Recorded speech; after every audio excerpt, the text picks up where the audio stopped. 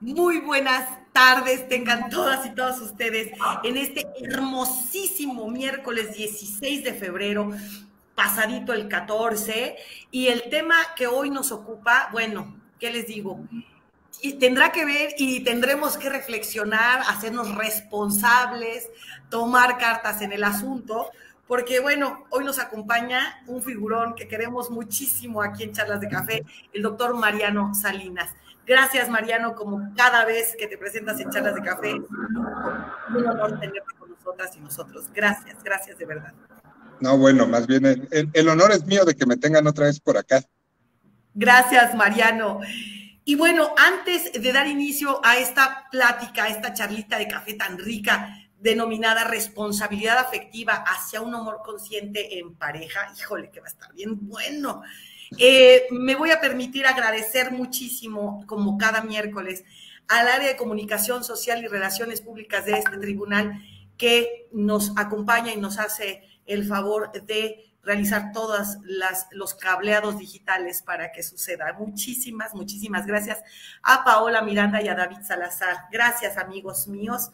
Y eh, como cada miércoles también, queremos agradecer muchísimo a la licenciada Estela Demian del DIF CDMX, quien a través de la Academia de Lengua de Señas Mexicana hace posible esta transmisión de manera incluyente. Muchísimas, muchísimas gracias. Un abrazo a la distancia para la licenciada Estela Demian y para las Anitas que están al frente. Muchas gracias a Solecita también, que luego se me olvida, pero también muchas gracias por ese enlace. Y los bajo, mis queridos amigos y amigas, para continuar con esta charla. Muchas gracias y buenas tardes. Y bueno, antes de dar inicio, voy a decir una breve semblanza de Mariano.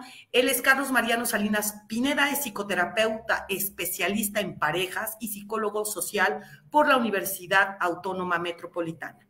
Ha participado en la elaboración de programas en favor del bienestar emocional en el gobierno de la Ciudad de México y cuenta con más de 15 años de experiencia como asesor en temas de psicología para diversas publicaciones editoriales, así como para espacios de radio, televisión y medios electrónicos a nivel nacional.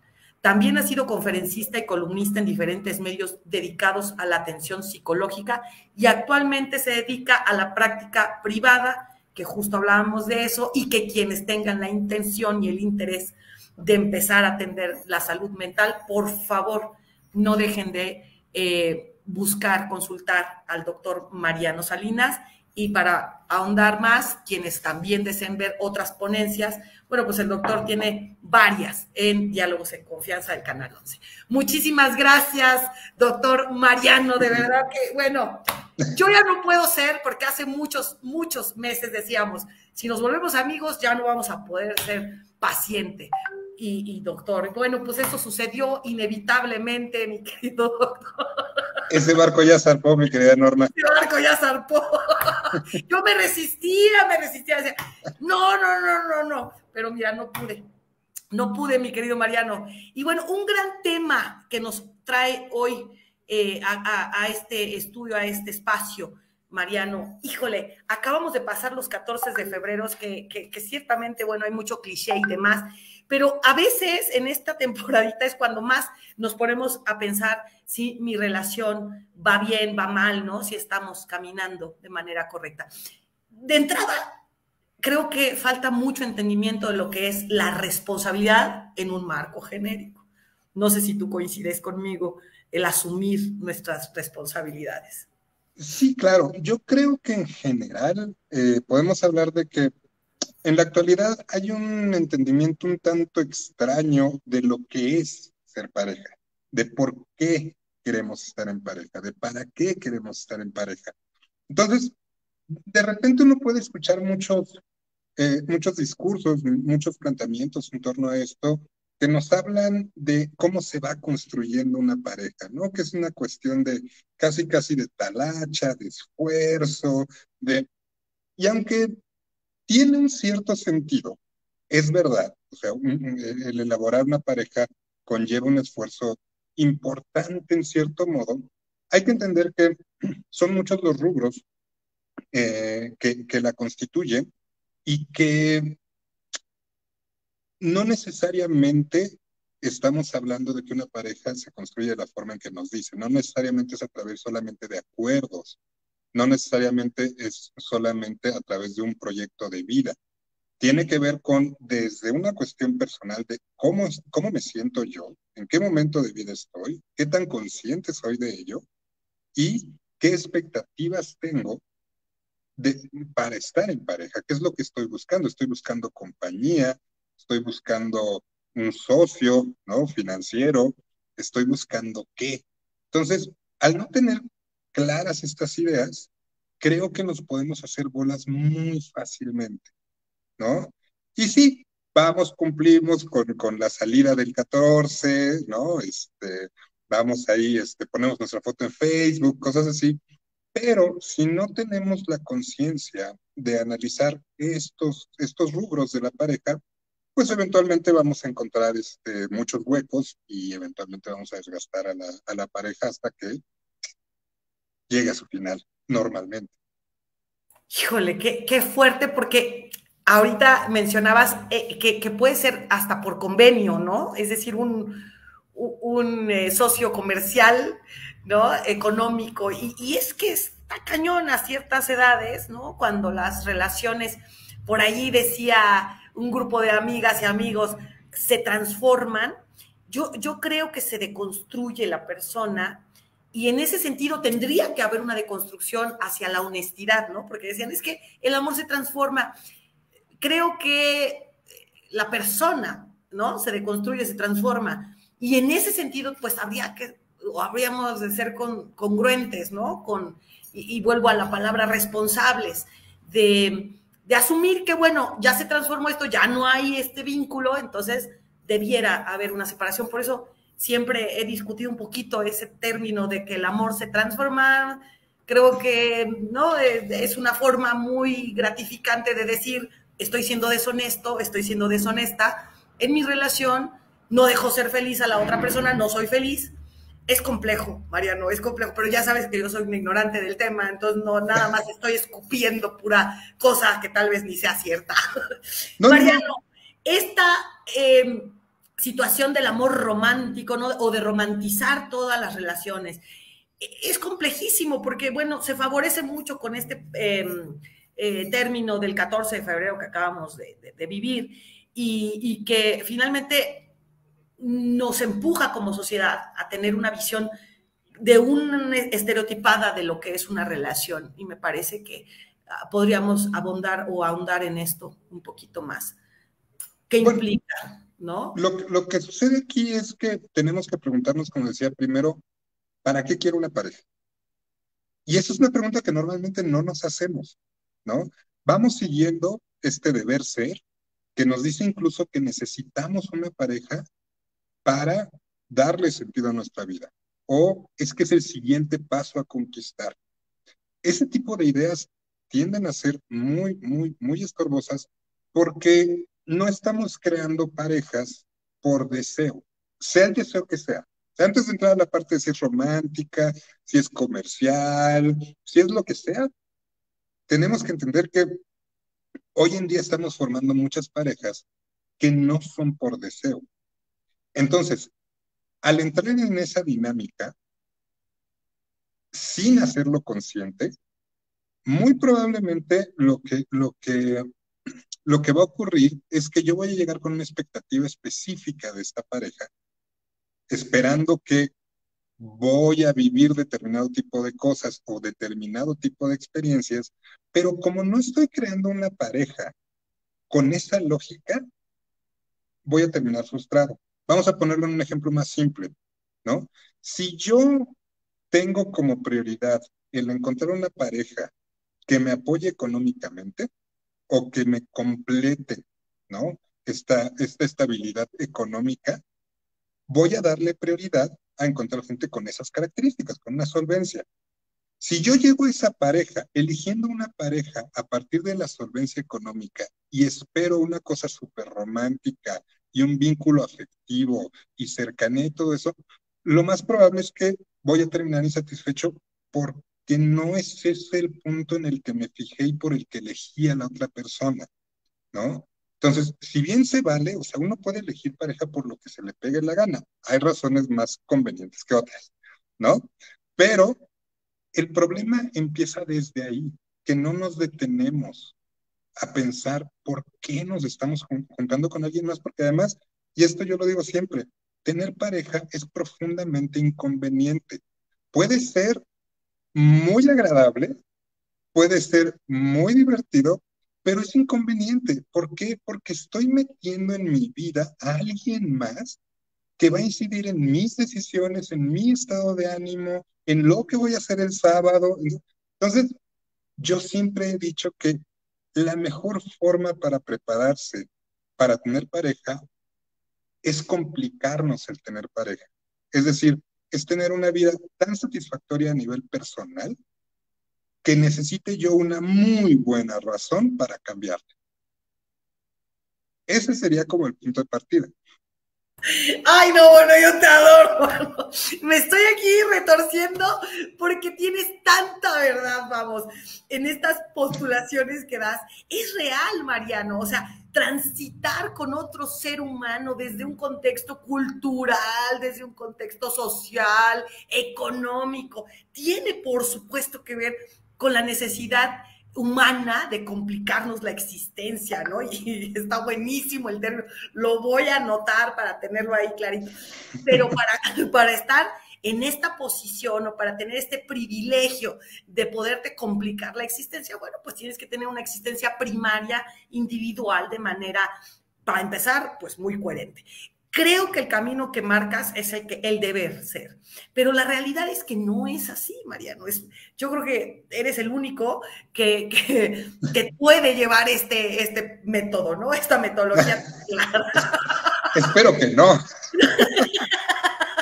Mariano, no conozco a nadie que tenga esta, esta, este razonamiento, este raciocinio antes de tener la víscera por delante. Entonces, eh, en ese sentido, ¿qué es la responsabilidad? Es decir, nos has puesto una plataforma bien crítica y de análisis, ¿no? Empezar a, entender desde qué mirada, desde qué contexto elegí o estoy decidiendo elegir a mi pareja. Eso yo creo que le rompe el esquema a cualquier sentimiento de culpa, a cualquier tema de, ¿no? De, de, de, laceración, ¿no? De él es un desgraciado, ella es una desgraciada, ¿no? Estas cosas que a veces queremos aventar para afuera o comprárnosla, porque tenemos esta práctica también de culpabilizarnos. Entonces, ¿qué sería la responsabilidad afectiva? Creo que acabas de decirlo, pero ahondando un poquito más, Mariano, ¿qué es la responsabilidad afectiva en términos de pareja? A ver, ahondando en ello, paso uno y punto uno, el ser consciente y honestos con nosotros mismos de por qué vamos caminando hacia el estar en pareja. Ese es el paso uno. Eh, las respuestas más comunes es porque quiero compartir mi vida, porque quiero crear un futuro con alguien. Todo eso lo vamos a decir en automático.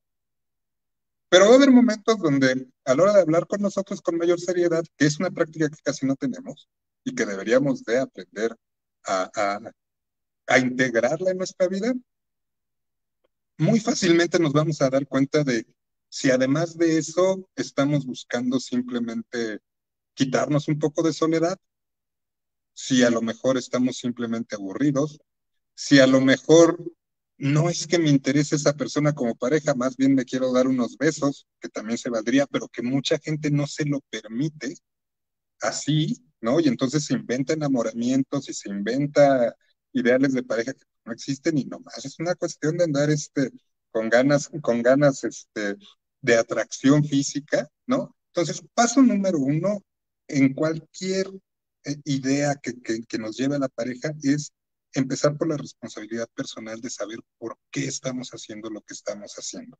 Ese sería el paso uno, ¿no? Entendiendo una cosa, y creo que ese e, es lo que, lo que a mucha gente les impide hacer esta reflexión. Les da miedo encontrar razones erróneas. Y yo ahí les diría que prácticamente ninguna razón ni es correcta ni es errada. Simplemente son motivos que nos van a llevar a lugares distintos. Aquí la cosa es que si yo soy consciente de ello, me puedo hacer cargo de mi decisión, ¿no? Pero tengo que enfrentarme a mi propia verdad. Si es que yo quiero pareja porque me la paso muy mal solo, pues eso me va a obligar a preguntarme, bueno, ¿y por qué me la paso tan mal solo? ¿No? Pero el punto uno es entender que empieza por uno mismo esa responsabilidad, ¿no? Y eso ya nos puede llevar, pensemos que, este, que, que cualquiera de las opciones es válida, pero entonces tengamos que ser congruentes, ¿no? Si yo busco una mera compañía, pues lo más probable es que voy a hacer una elección muy sencilla y sin demasiados parámetros porque con que me acompañen ya está. Pero tengo que ser consciente de que eso tiene consecuencias. ¿No? Entonces, pues empecemos por uno mismo, sería el paso número uno. Híjole, increíble. Fíjate, me viene a la mente y voy a ventilarlo aquí, que soy muy cínica yo, porque yo encontré el amor de mi vida a los 35 años, Mariano, ¿no? Y entonces, eh, eh, hace, hace unos eh, meses platicaba con mi amiga, que ahorita voy a leer con todo cariño su, su pregunta, em, que, que, que, me decía, ¿cómo fue? O sea, ¿cómo, por qué sucedió, no? Pues bueno, fue un lapso enorme de tomar decisiones, ¿no? Personales, desde estás lista, tienes tiempo, ¿no? Quieres invertir, ¿no? Porque es una inversión hasta de tiempo, dinero, esfuerzo, ¿no? Pues del maquillaje, ¿no? El perfumito, todo. Entonces, todas esas decisiones se fueron poniendo y había momentos en que yo decía, no, prefiero ahorita mi vida universitaria, no, prefiero mi vida de madre soltera, no, prefiero mi vida de, de profesionista, ¿no? Entonces, se fueron tomando decisiones y increíble, ¿no? Cómo llega muchos años después a mi vida el, el amor de mi vida, que yo lo digo así, ¿no? Mi querido Mauro. Bueno, dice aquí una pregunta, mi querido Mariano, y está maravillosa y te, te, abrazo mucho, mi querida Ale. ¿Quién nos enseña la responsabilidad afectiva? ¿Cómo se aprende? Fíjate, mi amiga está viendo Mariano desde Francia, a esta hora pues ya debe estar como a las 2 de la mañana, por allá, una, dos de la mañana, pero está en eh, todo acá, con todo. Bueno, primero que nada, saludar a tu amiga hasta allá y, felicitarla por formar parte del Club de los Notámbulos, ¿no? este, bueno, ¿quién nos lo enseña? Tendrían que ser los padres en un mundo ideal que no existe, ¿no? Porque yo, yo siempre, siempre les digo, bueno, es que lo de menos es hacer escuela para padres, el problema es encontrar a los maestros, ¿no? Entonces, en teoría, uno puede irlo aprendiendo, ¿no? en la familia, a lo largo del camino, pero la realidad es que no vivimos en un mundo que se caracterice mucho por ello. De hecho, si uno analiza el deber ser, ¿no? Estas normas sociales, esta, toda esta lógica que nos conduce en, en el mundo de la pareja, dista muchísimo de que, de que haya verdaderamente un análisis de lo que es la responsabilidad afectiva. Incluso eh, nuevas formas de verlo te hablan de la importancia de saber que en una pareja ambos somos totalmente libres y somos sujetos distintos y todo. Y yo, a mí me parece que suena muy bonito, pero ya en la práctica no, no pasa, ni va a pasar, ¿no? Por lo que comentaba hace rato, pues si yo estoy integrando a alguien en mi vida de esa importancia, pues no me puedo considerar un ser totalmente individual no porque pierda la capacidad de elegir, sino porque tengo que considerar a alguien más. Entonces, ¿quién nos lo enseña? Pues tenemos que más bien aprenderlo nosotros mismos, entender que no estamos en un sistema social que nos dé esas herramientas de manera cotidiana. Igual que, que, que, lo hemos visto en otros temas aquí, ¿no? Toda la parte emocional no, no vivimos en un mundo que nos ayude a entenderla y muchísimo menos a profundizar en ella. ¿Cuándo? Vuelvo a lo mismo, en un mundo ideal lo emprenderíamos desde muy chicos. En el mundo real yo les diría, en cuanto puedan, en cuanto ubiquen la, la existencia de ese, de ese lado, ¿no? Que está pendiente, pues es ir y buscarlo y construirlo uno mismo entenderlo uno mismo. Y por eso, y no es cebollazo, por eso es importante este tipo de espacios, ¿no? Porque nos están dando la entrada, ¿no? A estos otros lugares que no tienen nada que ver ni con todo este deber ser, y que no tienen nada que ver ni con el coaching, ¿no? Que, es como, como esas otras versiones que dices, híjole, mejor ya, mejor ya no decimos nada, ¿no? Este, es decir, es una tarea ardua que se puede entender a través de este tipo de espacios, de los espacios terapéuticos. Y además yo siempre lo he dicho, a mí me parece que, que toda la producción, ya sea literaria, ya sea de cine, ya sea de cosas verdaderamente más profundas, que seguramente no son los Avengers, seguramente no son Rápido y Furioso, si de pronto podemos visitar todo ese, eh, toda esa producción artística, también ayuda por lo menos para empezar a tener ciertas dudas y ciertas inquietudes, porque al final son, son expresiones humanas. Entonces, en un mundo ideal serían los papás desde un principio, en el mundo real es de a como podamos pero ya. Híjole, Mariano, qué duro, de verdad, es que es, es, entre risa y llanto lo que yo tengo, porque, ¿no? Es un claroscuro lo que me está pasando, porque de entrada sí hay una luz, ¿no? De, identificar, o sea, nos compartes una luz, un puente, ¿no? De comprensión entre mi realidad, ¿no? Y que, a veces decimos que no soy feliz, ¿no? Pero, pero, pero he de ser yo, es decir, como estas complicaciones a veces que pareciera que uno es el que está eh, desquiciado, pero hay una luz diciendo, ¿no? Eh, eh, puede ser que más bien no te hayas hecho responsable, ¿no? De tu situación afectiva actualmente y haya, o sea, lo que estés viviendo actualmente sean las consecuencias de haber tomado estas decisiones, ¿no? Y todo eso, pues no son meses, ¿no? A veces son años de matrimonio, años de una relación de pareja, donde sales devastada, sales devastado, ¿no? Y, en ese sentido sería la siguiente pregunta. Eh, ¿Cómo sería, es decir, en, este espacio donde hay madres, padres, hay muchas personas mayores que nos están haciendo el honor y el favor de, vernos, así como docentes, pero nos pregunta, ¿cómo nos enseñan las madres y los padres a tener esta responsabilidad afectiva? ¿Cómo podríamos? Eh, ¿no? Los que somos mamás y papás y te estamos escuchando y decimos, chángola, no quiero que mi hija, mi hijo viva algo similar. Bueno, yo ahí les tengo que decir que hay, hay dos maneras, la, útil y la increíblemente útil.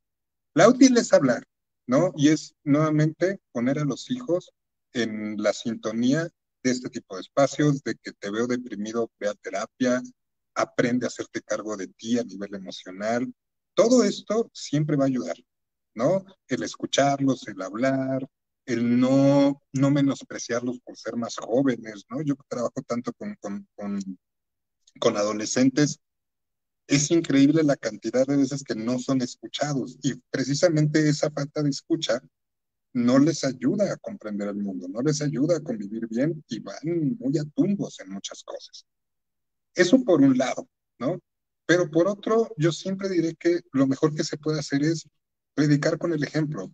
Y hay un ejemplo, valga la redundancia, muy clásico que tenemos hoy en día.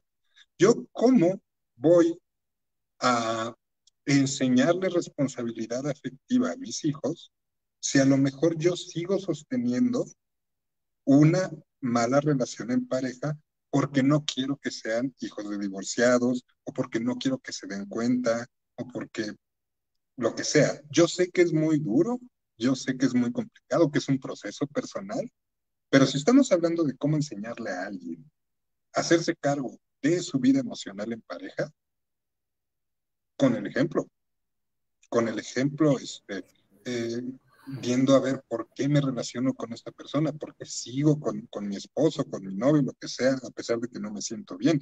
Porque eso, y esto quiero que quede claro, incluso los niños muy pequeños se dan cuenta de todo.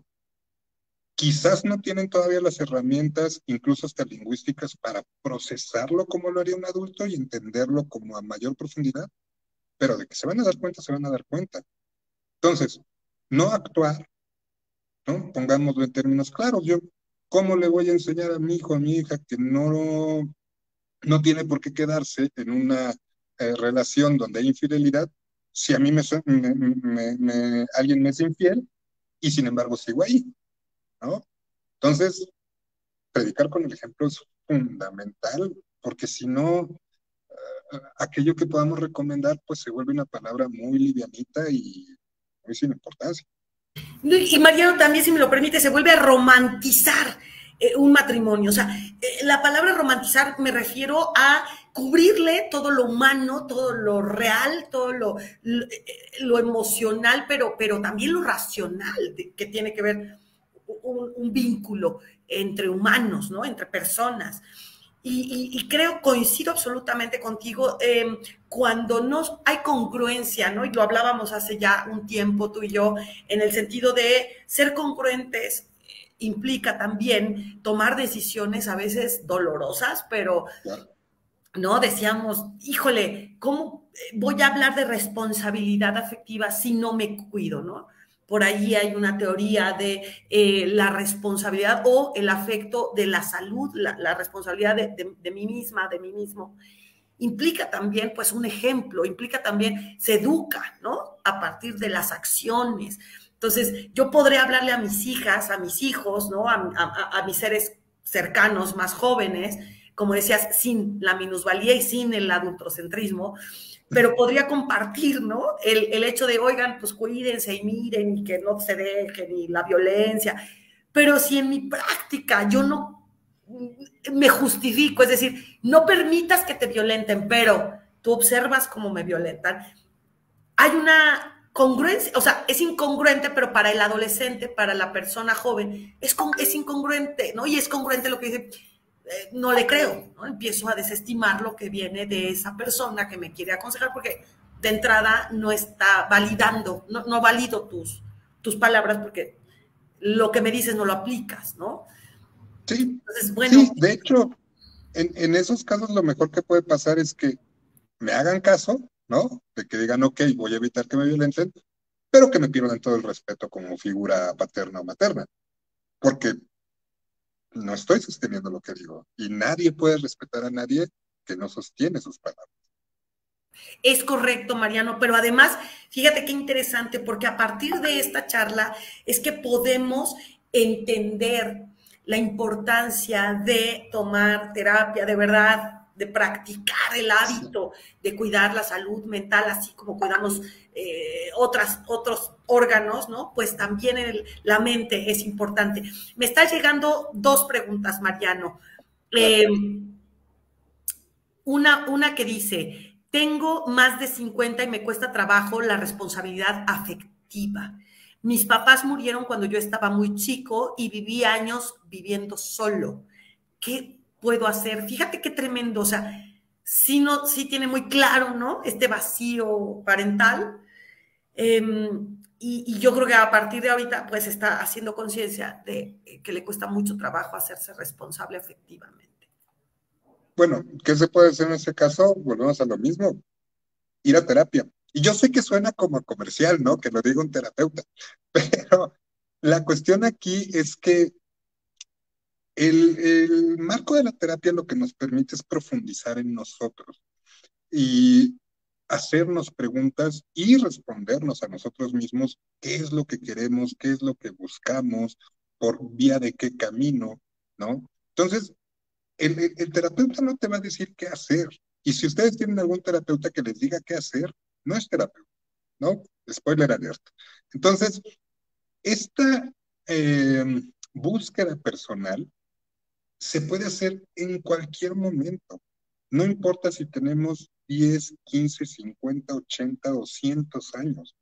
Aquí el punto es que si yo no me hago cargo de eso, sobre todo cuando ya empiezo a ubicar que algo hay ahí, lo que voy a vivir es una insatisfacción cada vez mayor. Porque antes por lo menos lo ignoraba y me podía hacer pato y no entendía qué pasaba. Pero ya cuando empiezo a ubicar que yo tengo ciertos huecos en determinados puntos de mi vida, hacerse cargo de ello es fundamental. Y es ideal ir a terapia porque si, si fueran cosas que pudiéramos resolver simplemente con voluntad y yo lo pienso y lo hago, ya lo hubieran hecho. ¿No? Entonces, esa guía y ese acompañamiento que, que tiene que ser profesional, es muy, muy, muy, muy útil para generar cambios, porque al final, y esto no me canso de repetirlo, el fin último de la terapia es que la gente se haga cargo de sí misma para tener una vida satisfactoria. Entonces, partiendo de ahí, y si yo ya ubico un hueco, pues es ir sobre eso. Muchísimas gracias, Mariano. Antes de pasar a la siguiente pregunta, mira, nos saluda a nombre de la magistrada Marta Leticia Mercado Ramírez, nuestra queridísima abogada Mon Mercado, que dice, buenas tardes, querida maestra Mariano, y a nuestra intérprete de lengua de señas mexicana. La magistrada tuvo un contratiempo, pero me pide de favor y que, que les dé la bienvenida. Es un placer tenerlos en este espacio tan maravilloso. Muchas gracias, Mon. Gracias y un abrazo muy fuerte a nuestra querida magistrada. Saludos de vuelta. Gracias, Mariano. Eh, fíjate, la pregunta que sigue, porque me, me, cimbró mucho, dice, eh, ¿existen vínculos eh, responsables después de los 60 años, es decir, para una persona mayor? Aquí, ¿no? se puede reconfigurar o reconfigurar después de los 60 años, habla de una etapa, un estadio de adulto, de persona mayor. Y, en, en, y la su pregunta diciendo que a partir de esto, ¿existen vínculos responsables? ¿Hay alguien que los tenga? Mariano, señora, Mariano los bueno. bueno, eh, ahí yo diría, claro que pueden existir. Y pueden existir vínculos responsables a los 60 y a los 80, y si por ahí andamos pegándole a la centena, pues también ahí. La cuestión es que no es que surjan estos vínculos, son vínculos que trabajamos. Y estos vínculos pueden, pueden alguna vez en, otro espacio, eh, con, en el que tuve una discrepancia precisamente con, la, la, conductora de, ese, de esa estación de radio, había una pregunta que decía, llevo 40 eh, años con mi pareja, ¿es válido pensar en separarme? Y entonces la conductora era como, pero oye, tanto tiempo, piénsalo y no sé qué. Yo le decía, bueno, ok, sí, tiene que haber toda esa reflexión, pero por supuesto que es válido. O sea, la que estaba preguntando estaba preguntando solamente si era válido, ¿no? Entonces, hasta un acto como ese de contemplar la posibilidad de que mi forma de ser responsable separándome, sin importar mi edad, eso puede llegar a ser responsabilidad emocional, responsabilidad afectiva, responsabilidad de pareja. ¿Por qué? Porque todo aquello que yo haga obligándome y que vaya en contra de mi verdadero deseo, va a crear problemas. No hay, no hay, si yo me obligo a estar con una persona con la que ya no quiero estar, o me obligo a tener un vínculo específico con una persona con la que ya no me nace ese vínculo, no se lo voy a poder esconder. Se va a notar. Y en ese notarse pueden pasar muchas cosas, desde hostilidad, puede haber ya lejanía, e incluso puede estar provocando que tanto yo como la otra persona se esté perdiendo de nuevas experiencias.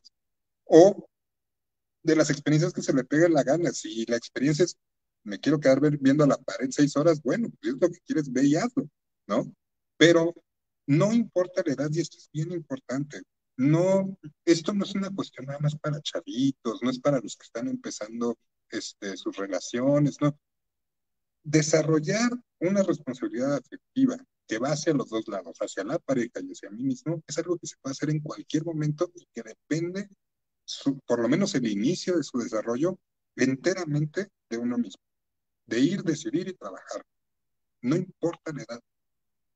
Híjole, tremendo, tremendo, qué, maravilla, porque me viene a la mente muchos campos ¿no? de acción o de interacción en las que las personas deben y pueden y debemos, más bien, más que podemos, hacernos responsables. Creo que si iniciamos el paso uno con la afectiva, se van a ir alineando eh, muchísimas, ¿no?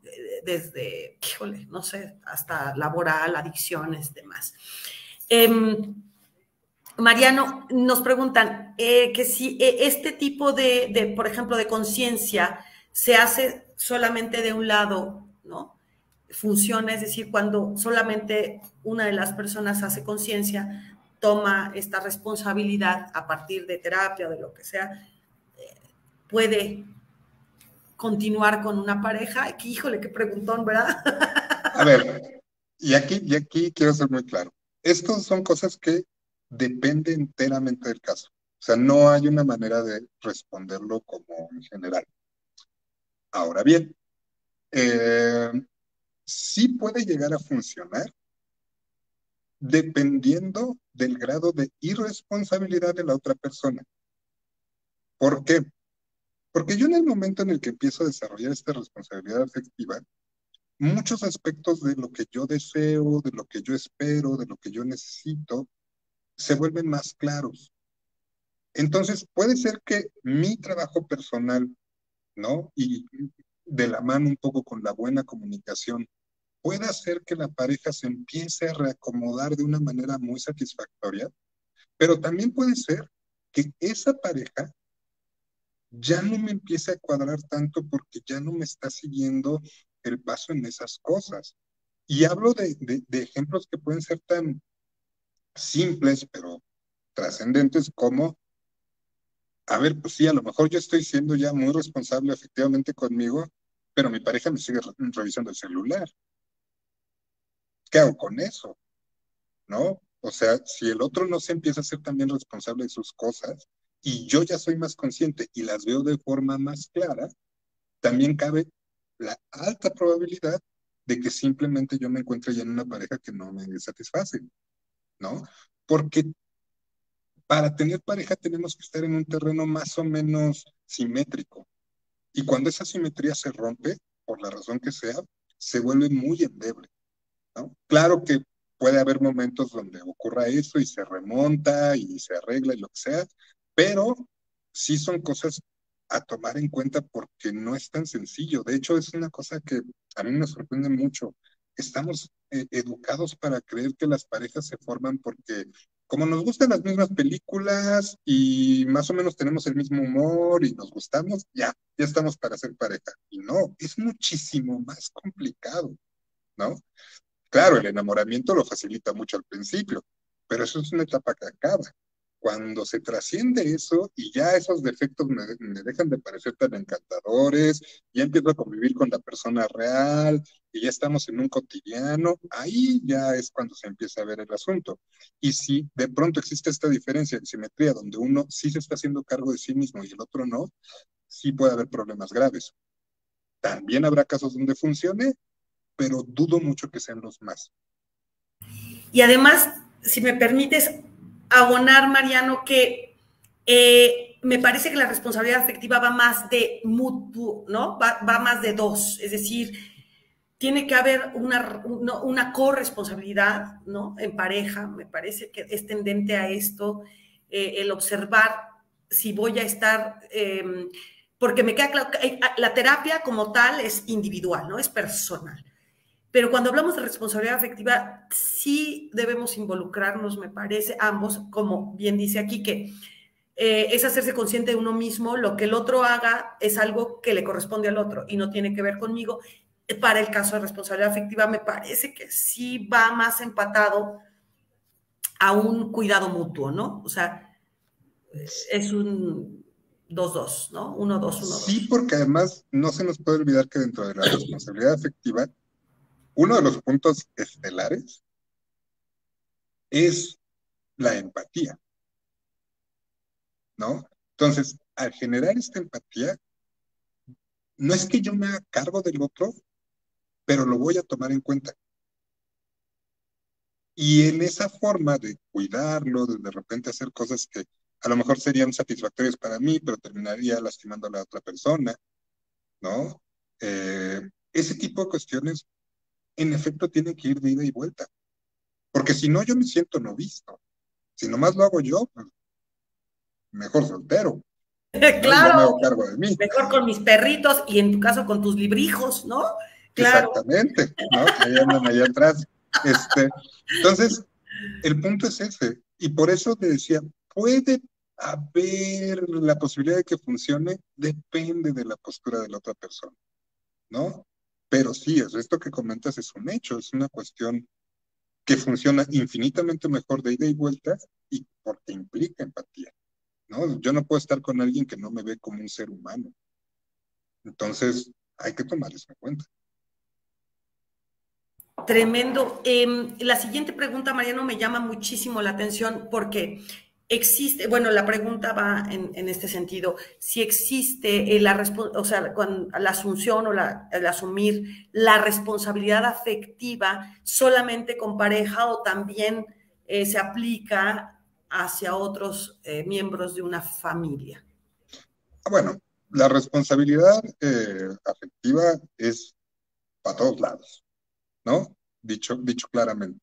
Por supuesto que si hablamos, como en este caso del tema de la pareja, habrá ciertos puntos en específico porque la pareja tiene ciertas características específicas que no comparte con una amistad, que no comparte con un miembro de la familia, pero la responsabilidad afectiva básicamente es, si lo queremos poner en términos muy simplones, ¿cómo le hago yo para estar bien emocionalmente sin fregar a nadie. Entonces, eso aplica para todos. Y en Latinoamérica, por ejemplo, además de las parejas, las mamás tendrían que tomar cursos más que extensos, ¿no? En responsabilidad afectiva, por ejemplo, ¿no? Esta, esta eh, idea y este lugar de las madres, este, como algo casi sacro, ¿no? Algo sagrado, de repente crean cosas que, bárbaras. Y hablo de las mamás específicamente en Latinoamérica por el lugar que tienen, ¿no? A nivel social. Eh, pero eso aplica para todos lados. Y sobre todo, la cantidad de veces que malentendemos lo que es el amor en general, ¿no? La gente que cree que el amor es sacrificarse constantemente, la gente que cree que el amor es andar rescatando a medio mundo y que son ideales muy, muy conflictivos por que tienen elementos faltantes que los hacen así de conflictivos y que nunca van a funcionar, ¿no? Entonces, por supuesto que hoy estamos hablando de responsabilidad afectiva en la pareja, pero hay una responsabilidad afectiva para con el mundo y sobre todo y en primerísimo lugar para con nosotros. O sea, es una responsabilidad de cuidarnos a nosotros mismos. Mariano, ¿cuál es la relación entre la responsabilidad afectiva y la culpa? Lo menciono porque eh, hay una pregunta, bueno, una, más bien una frase, un comentario que nos hacen, donde dice, me estoy dando cuenta que mi matrimonio siempre ha sido por conveniencia, ¿no? Y qué duro, ¿no? Se está dando cuenta ahorita mismo, ¿no? A partir de esta charla. Hay culpa, ¿no? Hay un dejo de culpa, pues. ¿Cuál sería, o sea, la, culpabilidad o el sentimiento de culpa iría en contra de esta responsabilidad? ¿Habría que trabajarlo terapéuticamente para tomar una mejor decisión? Porque imagínate, pues yo me engancho, me hago consciente de que solo estaba contigo por lana o por que estás muy guapa o muy guapo y de pronto, chin, ¿no? Bueno, yo creo que, yo creo que la culpa es una emoción que sentimos muy frecuentemente y que muy frecuentemente no tendríamos por qué sentir, ¿no? Obviamente eso, es algo que se tiene que trabajar a nivel personal, porque es muy fácil decirlo desde aquí, decir, no sientan culpa, ¿no? Este, si fuera así de fácil, bueno, pues lo haríamos. Pero sí es un elemento que estorba mucho, porque además, socialmente hablando, eh, nos han enseñado o nos han confundido en el sentido de que ponernos a nosotros en primer lugar de importancia en nuestra vida puede ser sumamente egoísta y se ve mal, ¿no? En muchos sectores de nuestra sociedad, sobre todo en los más conservadores, ese tipo de ideas como de, a ver, yo voy primero y, ya, se puede entender como una suerte de egoísmo. O hay o hay momentos donde, por ejemplo, esto, ¿no? De, yo tengo una, una, relación de pareja por conveniencia. Es que eso no es que esté mal per se. Si eres consciente de eso y la otra persona está en el mismo barco, por favor, exploten esa conveniencia lo más que puedan. ¿Cuándo viene el problema? Cuando no me atrevo a ver la realidad o cuando la enmascaro o la disfrazo, ¿no? Porque además es una cosa que siempre va a chocar y la realidad siempre, invariablemente, nos va a alcanzar, siempre, ¿no? Entonces, yo creo que más que sentir culpa, yo les diría, si ya ubican cosas, vayan y háganse responsables de ello y tomen cartas en el asunto. No a partir del deber ser. No tiene nada de malo si su tanito menganita quiere andar con alguien nomás porque está bien guapo bien guapa, se vale. No tiene nada de malo. Si para andar con esa persona le dicen, no, es que yo te veo en mi futuro y te amo como a nada, y, y les están mintiendo en la cara, bueno, pues ahí están cometiendo una falta ética. Y quizás ahí sí la culpa los va a alcanzar. ¿Por qué? Porque, porque están mintiendo. ¿No? Pero en estas historias un poquito más intrincadas, antes de saltar a la culpa, primero pregúntense, a ver, a ver, ¿qué pasó? Háganse cargo de eso. Y para erradicar cualquier posibilidad de culpa, ese trabajo y ese ir decidiendo, pues es lo que los va a salvar, ¿no? Porque la culpa solamente puede la culpa solamente opera cuando yo, pudiendo evitar algo, decidí no hacerlo. Y ahí subrayo el decidí. Si apenas me estoy dando cuenta, pues, ok, ni modo, ¿no? A lo mejor nos tardamos, pero ya te diste cuenta, entonces hazte cargo de eso. Y hacerse cargo no implica, eh, díselo, ¿no? Ve y rompe con esa relación, que creo que también es importante subrayar, Mariano, y qué bueno que lo mencionas, porque a veces creemos que la solución es, bueno, ya me di cuenta que estoy contigo por conveniencia, me voy, ¿no? Para ya no hacer más daño. No, espera, espera, espera.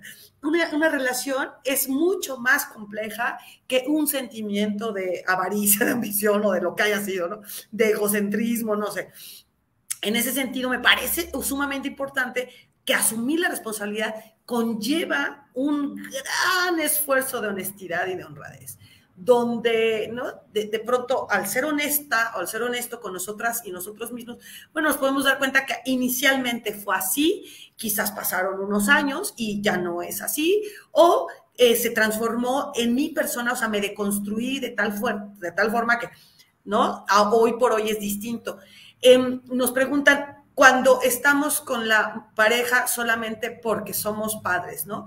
Esto es durísimo, pero ¿qué tanto es algo también, ¿no? Social que eh, sí existe. es que yo me resisto, Mariano, a pensar que realmente podemos estar con alguien, digo, bueno, pues yo qué te voy a decir, no soy madre soltera de dos hijos, yo no consigo ese espacio, ¿no? La neta es que yo no consigo ese espacio de, estar pero bueno, o sea, no, no quiero invalidar, pues, porque hay un status quo social que sí lo tenemos muy claro, todas y todos, ¿no? Depende de los contextos sociales, depende de los contextos culturales. Pero bueno, en ese sentido, hay, que hacer un esfuerzo de implosión, Mariano. ¿Qué hacemos cuando eh, la, pues, la práctica cotidiana o ¿no? la vivencia o la cotidianeidad nos dice, estoy con ella o con él por, por los hijos o las hijas. Bueno, como terapeuta de adolescentes y de, y de adultos, ¿no? Que han pasado como hijos por ese tipo de cosas, yo creo que ya es hora de desmentir esa parte, porque específicamente eso de es que no nos separamos por, por, por nuestros hijos. Yo les pido, por favor, dejen de darle la torre a sus hijos. ¿Por qué? Porque las parejas que están solamente por eso, es rarísimo que logren crear un ambiente de hogar. Es rarísimo que logren crear un ambiente amable para los hijos, ¿no? Quizás no es que se estén aventando el cenicero de la cabeza todo el tiempo, pero se nota cuando alguien no quiere estar con otro alguien. Y eso puede ser muy incómodo. Entonces, yo nunca he conocido a nadie que me diga, le agradezco a mis papás por haberse mantenido juntos hasta que ya crecí.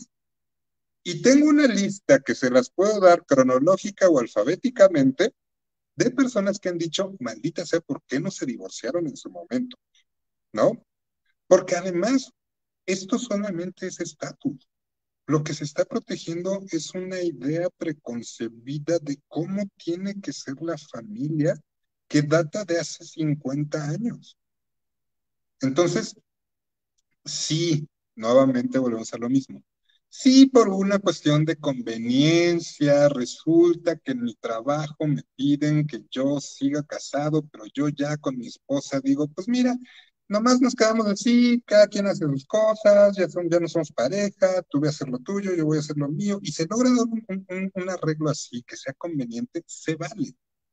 Si es solamente por cubrir apariencias para con los hijos, que además están cubriendo nada, porque los hijos se van a dar cuenta, insisto, no menosprecien la capacidad de percepción de sus hijos. Sus hijos los ven y saben, ¿no? Entonces, más bien ahí lo que le están enseñando es que hay una lógica de sacrificio constante que no tiene sentido. Es mejor tener un papá y una mamá separados, pero que tengan vidas satisfactorias para convivir con ellos, que a padres frustrados que sostienen un, pues una puesta en escena para supuestamente ayudarlos y yo me sigo preguntando después de 15 años de terapia, ¿no? ¿Ayudándolos en qué? Coincido absolutamente contigo porque además, ¿cuántas de estas eh, clásicas, ¿no? Latinoamericanizadas palabras, y también clasista quisiera decirlo, porque es muy de los años antiquísimos el que hablábamos de aquí en mi familia nadie se divorcia, ¿no? Pero también cuánto estamos favoreciendo el tema de eh, eh, cubrir nuestras codependencias. No, no, no te separas porque no quieres, ¿no? Y le cargas el muerto a tus hijos, a tus hijas, que son adolescentes, pero bueno, tú puedes tener una adicción o puedes ser muy tolerante al maltrato o al abuso, o ya haber generado una relación destructiva donde hay una necesidad permanente de hacerse daño, ¿no? Una, una, una relación destructiva finalmente. Y eh, es mejor decir, eh, por los hijos no me separo, por las hijas, o a decir, ese, yo estoy, tengo un problema de codependencia, ¿no? De adicción al maltrato, ¿no? O tolerancia. Etcétera, etcétera. Entonces también esa parte es bien importante. Decía aquí una persona de la audiencia, nos está escribiendo, el separarse también es un acto de amor, pero muchas veces no se entiende como pareja. ¿No? Por supuesto que sí. Qué maravilla, qué bonita aportación nos hacen. Dice acá también, María, la reciprocidad es también muy importante, efectivamente, ¿no? Yo creo que, eh, híjole, no sé, Mariano, pero ¿se puede amar a quien no te ama? Esa, esa es una, de verdad, duda muy, muy, muy eh, pertinente que tengo desde hace muchos años. Sí, por supuesto que se puede amar a alguien que no te ama. Eh, más bien yo ahí te la cambio por decir, eh, ¿se puede ser feliz estando con alguien a quien amas sin que te ame? Seguramente no. ¿No? O sea, y ahí es una, es una cosa interesante, ¿no? Y hablando de esta reciprocidad y hablando de, de esto que hablábamos, ¿no? De separarse, de... Aquí tenemos que entender que hay de dos sopas. O somos correctos o vivimos satisfechos usualmente no son sinónimos, ni son los mismos caminos, ¿no? Uno sabe cuando tiene una falta, uno sabe cuando tiene un hueco, un vacío. Entonces, hacerse cargo de ello es bien importante. Entonces, por ejemplo, usted decía, la reciprocidad es importante, sí, por supuesto, ¿no? Porque además la mera idea de una pareja donde no sea una cuestión recíproca, vuelvo a lo mismo, entonces no es pareja. Así de fácil, ¿no? Es como si yo dijera, no, bueno, es que Scarlett Johansson y yo somos pareja, nada más que no se ha enterado. No, bueno, si fuera así de fácil, mira, ¿no? Habría problema. No, pero claro que la reciprocidad, claro que el hablar, claro que el estar comunicándose y sobre todo el ser honestos hacia adentro y hacia afuera. Ese es el, ese es el parteaguas del asunto.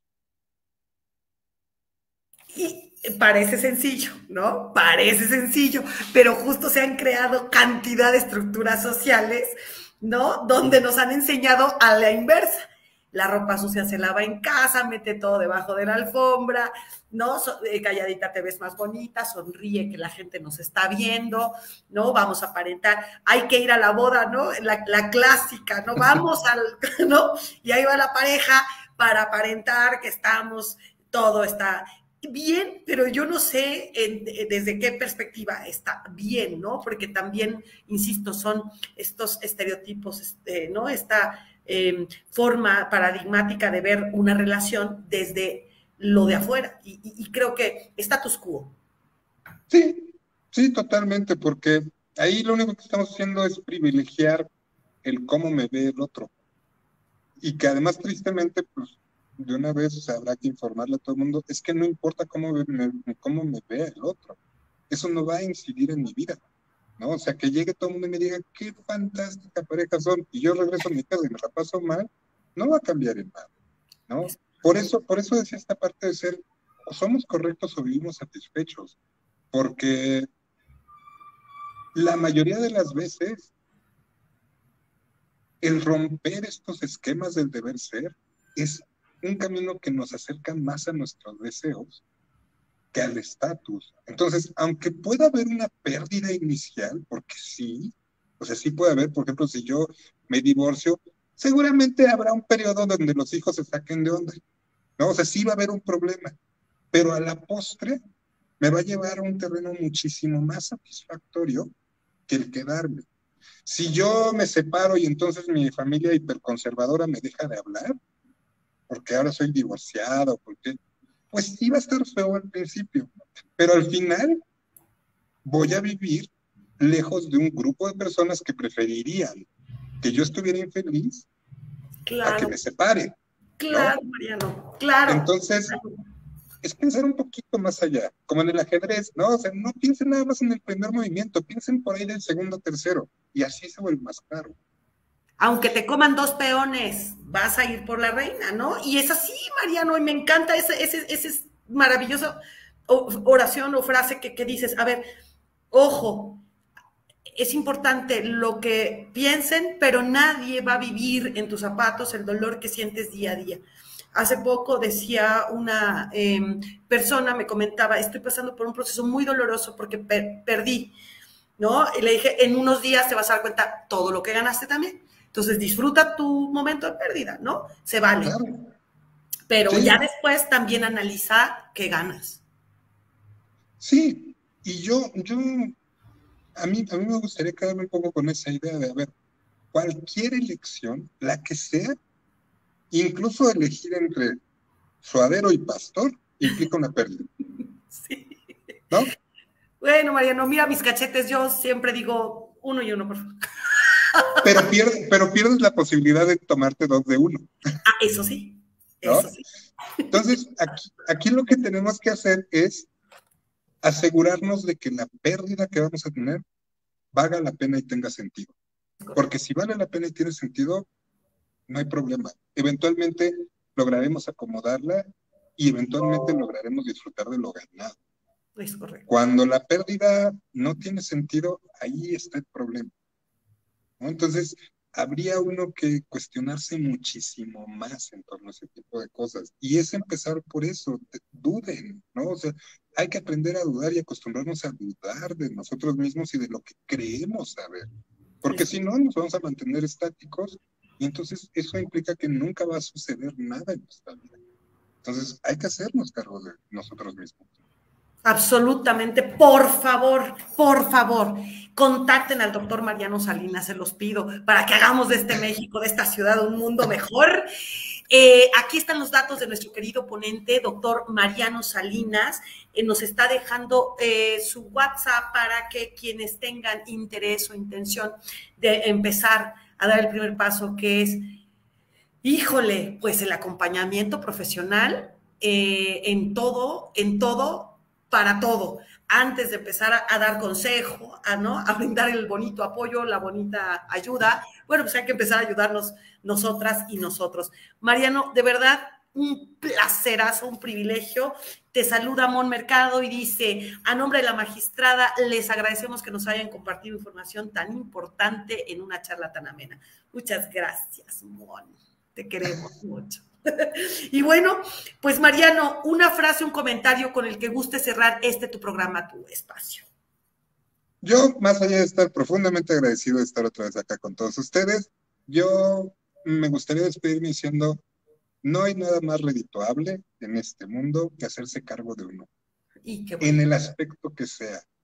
Y para eso hay medios y hay lugares profesionales. Por favor, hagan, hagan eso, vayan, háganse cargo de sí mismo, porque lo único que se busca es la satisfacción personal. Entonces, manos a la obra en eso y ya. Padrísimo. Manos a la obra de verdad. Em, no se van a arrepentir. El primer paso siempre es más, da mucho miedo, pero cuando ya vas en el camino, híjole, es una gran liberación. Muchísimas oh, gracias. ¿Verdad que sí, Mariano? Te agradezco, te quiero, te queremos muchísimo. Muchas gracias, DIF de la Ciudad de México. Ahí está mi querida Ada Luz, que estuvo interpretando en el primer bloque, y tenemos a Montserrat Eleonor Medina, quien estuvo interpretando en el segundo bloque. Muchísimas gracias. Gracias, David Salazar. Gracias, Pau, de Comunicación Social y Relaciones Públicas. Mariano, el próximo miércoles bueno, pues yo te invito porque tendremos de verdad un temazo. Déjenme ahora mismo, ya me lo están compartiendo, cómo adaptarnos a la nueva normalidad en el ámbito emocional. Eh, con la doctora María Isabel Barrera del Instituto Nacional de Psiquiatría Ramón de la Fuente Muñiz. Eh, pues eh, tendremos que hacer también ajustes razonables desde lo emocional, ¿no? Para entender y entenderle a esta nueva normalidad. Gracias, Mariano Salinas, gracias al doctor. Y les dejamos allí los datos nuevamente para quien guste contactarle. Muchísimas, muchísimas gracias, mi querido David. Que pasen una excelente, excelente noche. Nos vemos el miércoles.